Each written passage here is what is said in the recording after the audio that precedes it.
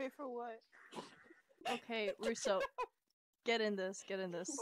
You fucked my plane. Okay, well, frick your plane. Get in this awesome, cool motorcycle. Where did you go? Where did you go? I don't know. You launched me to the other side of the city. that's that's okay because I was gonna get in my uh, helicopter anyway. Oh, there you are. Yeah, just let oh me. Oh my god, I just went into a freaking circle. Do you mind? I just want to fly my damn helicopter and I can't. No.